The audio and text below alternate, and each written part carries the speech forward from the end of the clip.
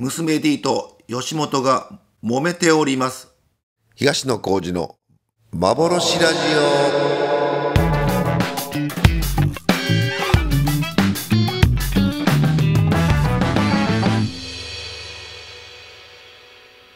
さあ、今回も我が家のリビングで一人一人録音しております。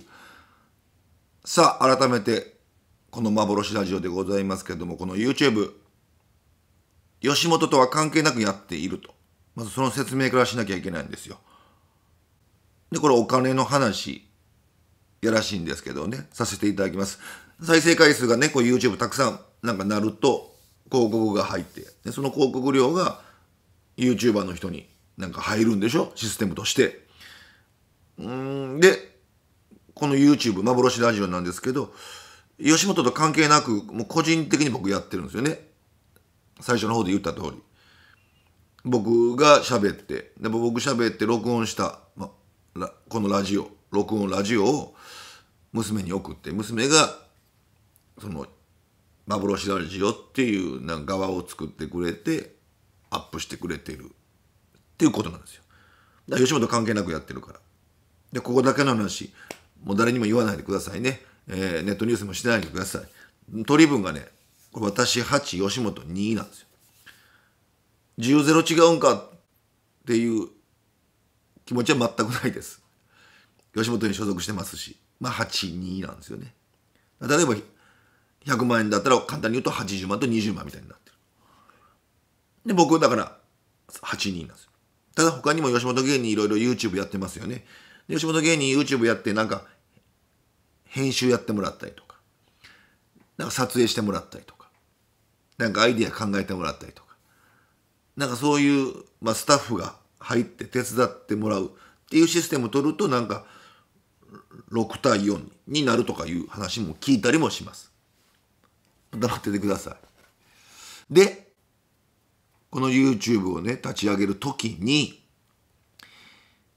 Google アカウントを作って、で、Google アカウント、プラスパスワードっていうのを僕と YouTube の担当の吉本の担当の人と、で、娘 D と、まあ、3人というか、2人と、まあ、吉本興業が共通で知ってるわけですよ。それが基本前提にあって、で、第4回ですかね、幻ラジオで、娘 D の野望みたいなのを説明しました。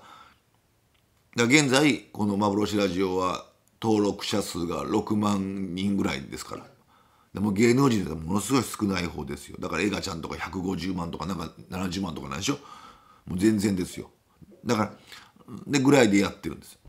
で、なおかつこれラジオですから静止画ですから前から言われてるようにこう収益を考えているならラジオっていうのはなんか広告とか入らないですよって言われてるけどその娘 D はそれも分かった上で動画を全て収益化オフ設定にしてるんですって。でなぜ収益化オフ設定にしてるのかというと広告というのでお金を儲けなくてなんかスポンサーつけたりグッズ販売してお金を儲けようってなんか娘 D はなんか考えてるんですよ。まあ成功するしない別にして。で収益化オフ設定にしてるんですよ。でもまあそもそも僕ラジオレギュラーがスポンサーがつかずにこれ始めてる人間ですから大丈夫なのかなとも思うんですけど、まあ、それは置いといてそういう状態なの。で収益化オフ設定してるんですけれどもそんな状況の中この間娘 D から LINE が来てその LINE がもう吉本の誰か YouTube 触ってる幻ラジオの YouTube 触ってるって来て。娘 D がまたさらに送ってきて気づいたら勝手に設定を全部変えられてると。収益化オフ設定を勝手に変えて。で広告がバンバン入ってるっていうふうに LINE が送られてきて。多分娘 D もカチンときたんでしょうね。僕に LINE で変えるなら言ってくださいって伝えてくださいと何をどう変えるか教えてくださいと。もうかなり怒ってます。さらに、これじゃ娘 DVS 吉本になってます。おかしい。で、かっこ笑いって書いてるんですけど、絶対本人笑ってないと思うんですよ。知ってるんで。めちゃくちゃ怒ってると思うんですよ。で、娘 D がなんか改めて LINE でオフ設定にしましたと。で、コメント欄に収益化オフにしますって書いてるのに、吉本の人はコメント欄を全く読まずに、勝手に広告オンにしていますと。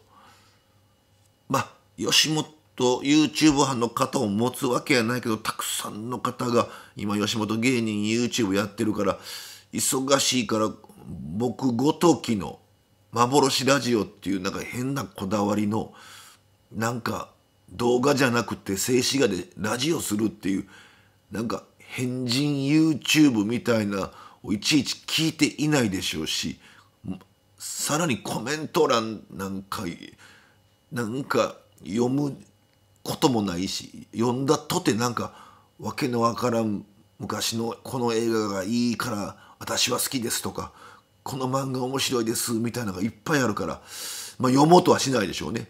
だから勝手にオンにしたんでしょうね広告を。で娘からすると今のままだとまた私が寝てる間にその設定これを変えられると怖いから向こうから吉本から確認取れるまで幻ラジオの今夜はアップしない方がいいと思います LINE が来たんですよ、まあ、確かにそれはそうやなと思ってじゃあもう今回はもうアップせえねんなと思ってたんですよ、まあ、僕アップの仕方もわからないし。でまた1時間後 LINE 来たんですよ。さらに勝手に非公開テストとして上げていたその第7回の幻ラジオが娘は上げてないんですけど勝手に公開されていたんです。勝手に。僕もちろん上げれない。娘はやっていない。ということは誰が 公開したかというとうん。そうですよね。吉本興業ですよね。うん。第7回が公開されていた。それを知ったのはリスナーからのコメントでなんか変な時間になんか第7回がなんか流れてきましたアップされてましたっていうのでえっ？てなったんですよ。で娘からまた LINE がドンってきて吉本さんは信用ができないので私は勝手にパスワードを変えましたってきたんです。でさらにもう吉本に新しいパスワードを言わないでくださいって言われました。決別宣言です。カンカンです。でさらに今日はもう吉本の人のせいで疲れました。で LINE が終わっちゃった。ああもうこれもうそのまま寝てんねんな。もう怒り狂って寝てんねんなと思ってたらやっぱ寝れなかったんですかね。怒りすぎて。1時間後また LINE が来たんですよ。新しいパスワード言ってないでしょうね吉本に。変更したことだけは言った？みたいな。ちょっと僕にも当たり出してます。でさらに非公開の動画を公開するのはひどいと。で LINE が来て。それからしばらくずーっと LINE は来ませんでした。揉めております。個人的に人と人が揉めるのは私大好物でございます。さあ一体どうなるんでしょうか？完全に吉本と決別しました。この幻ラジオ。第8回まで来ましたけれども未だ収益ゼロでございます。本当にこの幻ラジオにスポンサーはつくんでしょうか？そして6万人しか登録者数いませんけれどもグッズを販売して誰が買ってくれるんでしょうか？一体どうなるんだこの幻ラジオ？さあそんな幻ラジオからですねなんと1円も儲かってないんですけどもこっちから勝手に T シャツをプレゼントしたいと思います。実はこれは娘 D とは関係なく私が個人的に幻ラジオっていう YouTube を始めるって心に決めてから T シャツ屋さんに行って幻ラジオってていうロゴの T シャツを作りました。一度この素晴らしい世界っていう出版トークショーの時に来ていってテレビとかでもインタビュー受けた時に来ていた、えー、知ってる人は知ってると思いますけどもあの安っぽい幻ラジオ T シャツ実は作っていたんです、えー、20枚完成しました。そして僕が3枚いただいてそして娘 D とか娘 D この今回の幻ラジオを作るにあたって協力していた方が何人かいらっしゃるって娘 D から聞いておりますので娘 D サイドに5枚渡して8枚はこっちでいただいたので残り12枚をリスナープレゼントしたいと思います。さあいろいろ考えました。どうしましょう。改めてもう一度渋谷郵便局に行って書箱作ってハガキを募集するのか。しかし書箱はもういっぱいいっぱいで作れません。自分の住所を教えるわけにもいかず吉本興業の住所を教えたとて現在吉本とは揉めに揉めております。届いたハガキ全部 YouTube 班が焼却炉で燃やすでしょう。困りました。でいろいろ考えました。今回本当に田舎に住んでる方地方に住んでる方には大変申し訳ないですけど勝手ですけれどもこういうルールにしました。私にどこかで出会ったら幻 T シャツくださいと言っていただいた方から順次差し上げていこうと思います。幻 T シャツくださいと言ってご自身の名前と住所をメモ書きしていただいたら後日私が渋谷郵便局に行って書かれた住所に幻 T シャツを送りたいと思います。12枚でございます。1回に言えるのは1枚だけでございます。複数で来ても1枚しか差し上げることができません。そういうルールにしましょう。サイズはすべて L サイズでございます。生地はうーんどうなんでしょうかこの生地。冬なら冬なら静電気てんこ盛り吸います。あと思っているより寝巻きに使えます。思ってるより部屋着に使えます。上から寝るシャツとか着たら幻ラジオって隠れますから全く問題ございません。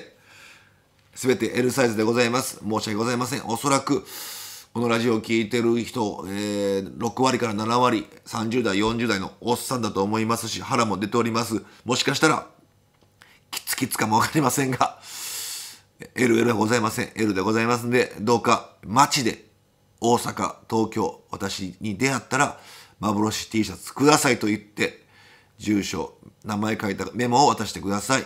12枚でございます。果たして1週間で終わるのか1ヶ月で終わるのか1年かかるのかかなりの僕は長期戦だと思っておりますんでどうか、えー、私に声かけてください。そしてさらにこれはもう本当に業界関係者はお断りでございます。よくレギュラー番組でテレビ局行ったり特番でテレビ局行ったりする時の打ち合わせで幻ラジオ聞いてますよとか幻ラジオ登録してますって言っていただくんです。それ言ったら僕が上機嫌になって打ち合わせがスムーズに進むと思ってるかもしれませんがものすごい嫌なんでどうかそれやめてほしいと思います。こっそり聞くなら聞いてください。聞かなくても全然結構でございます。その業界関係者は今回はお断りさせていただきます、えー、タレントスタッフお断りでございます一般人のみでございます果たしてこの12枚はさばけるんでしょうか？えー、この配信からスタートでございます。毎度毎度エンディングで残り枚数も発表していきたいと思います。さあ、そして、私の書籍、この素晴らしい世界という本でございますけれども、3釣り目が決定しました。ありがとうございます。いろんな本屋行ったら、なかなか売っていない状況だと聞いておりますが、えー、頑張って探してほしいと思いますし、ネットでも買っていただけたらありがたいでございます。えー、ぜひぜひ皆さんご購入の方お願いします。さあ、そして、ついこの間私が読んだ面白い本、ここで紹介したいと思います。メッセンジャーの黒田君に紹介されました。それでも俺は妻としたい。足立慎さんが書いた本でございます。新潮から多分出てると思うんです。めちゃくちゃ面白かったです。えー、ご主人、奥さん、幼稚園、保育園の子供3人家族のご主人が奥さんととにかくエッチしたいという、えー願望がほとばしる話になっております。めちゃくちゃ面白いって聞きました。読みました。めちゃくちゃ面白かったです。ぜひぜひ、アホらしい話でございますけど、大いに笑ってほしいと思います。女性の方は読まない方がいいと思います。足立慎さん。100円の恋。安藤サクラさんのあの映画の脚本を書いた足立さんでございます。それでも俺は妻としたいという本を読んでから100円の恋を読むとまた違った感想になるんじゃないかなと思いますけれども、ぜひぜひよかったらこの本読んでほしいと思います。さあ、今回は娘 D と吉本の揉めに揉めてることをお話ししましたけれども、次回はあなたの好きな面白い漫画を紹介したいかなと思っております。短い時間でしたけれども、今回はここまでです。バイバイ。